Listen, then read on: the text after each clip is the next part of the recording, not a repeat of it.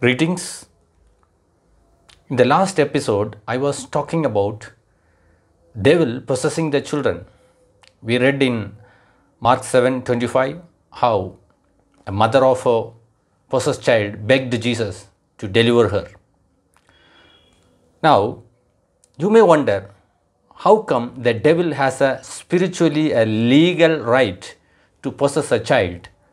A child by itself did not do any sin, has not committed any wrong. How come the devil has an entry inside the child? How come the devil has an entry over the child? How come the devil has a control over the child? Now, the, to answer this, we must understand that if a father and mother, the father and mother of a child has committed mistake, then the devil reserves a spiritually a legal right to possess the child, to control the child, to live in the child. A marriage that does not honor God, what we call holy matrimony, many times becomes unholy matrimony. A child born out of a unholy matrimony attracts demons, devils in him or her. In other words, the devil will have power over this child born out of this unholy matrimony. Marriages that are made based on dowry system. A man marries a woman because of dowry and beauty and money and power and position. This is an unholy marriage.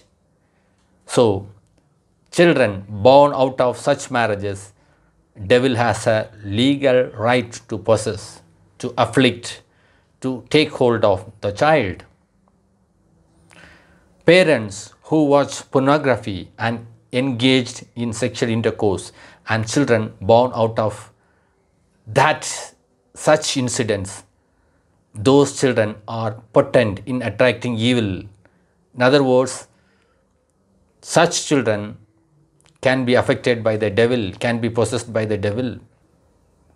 Living live in relationship father and mother do not marry but live in have a live in relationship. They indulge in sexual activity before marriage and then get married. And they have children. Such children are the targets of devil.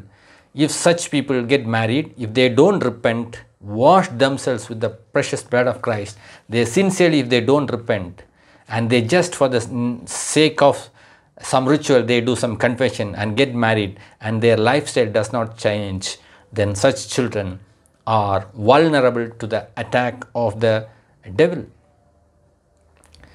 During pregnancy, if a mother goes through intense turmoil, mother is hurt, the father ill treats the mother, the mother carries lot of hurt, and thus that child is vulnerable to the attack of the devil.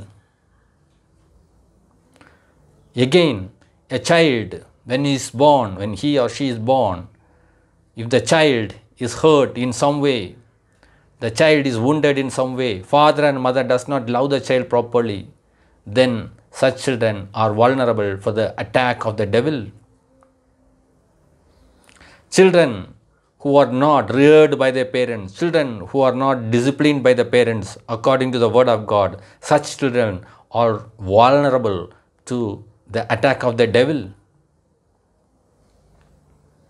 A culture that does not uphold the values of Christ Jesus, a culture that does not support, uphold, live the values of Christ Jesus, and children born in that culture are vulnerable to the attack of the devil. Unforgiven sins of the parents. If parents' sins are not forgiven, they have not repented truly, and such parents have children, those children are vulnerable to the attack of the devil. Children engaged in unholy friendships, they are vulnerable to the attack of the devil. Children who have no interest in the ways of God, they are vulnerable to the attack of the devil. So, these are a few points that I present before you as to inform you how the devil gain access over innocent children. Mostly, de- devil gains access over innocent children because of the practices of father and mother, because of the lifestyles of father and mother. And that is the reason the devil possesses, devil has, deserves or earns a legal right spiritually to possess an innocent child and make that life miserable. As I told you in the previous video, even if a child is possessed, there are many instances you will never find out the child is possessed. Maybe later stage by the behavior of the child, by the fruits that the child produce, you and I will know whether the child is affected by the devil, possessed by the devil or not. The good news is that if once, if we find out, if the father and mother comes to know that the child is attacked, child is possessed, the child need deliverance, then the way is Jesus.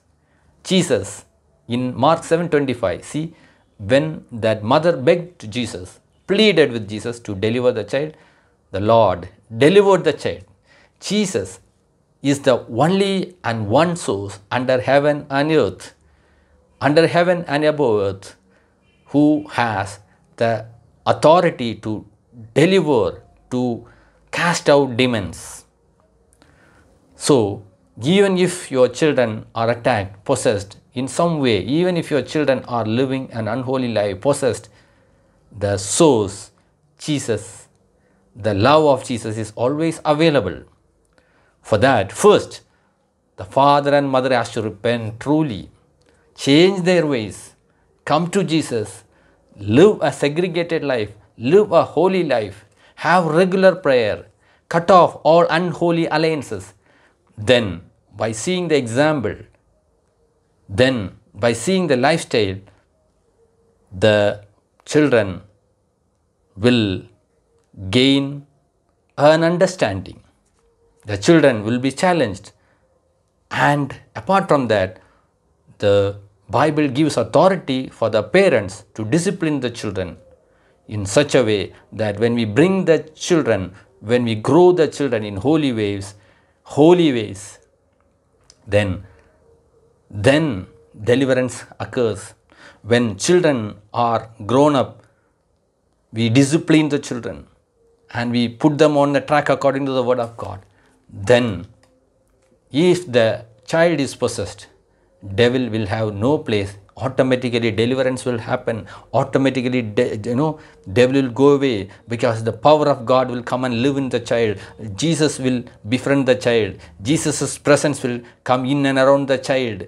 And when there is as the child grows and when the child when it becomes a teenager it repents and you know takes a baptism in spirit and truth then the child will be free from the possession of the devil. Child will be free from the influences of the devil. As as the child leads a holy life day and night then that child will be a child who is free from the attack of the devil who lives for god will be a good example to the community and will grow the church.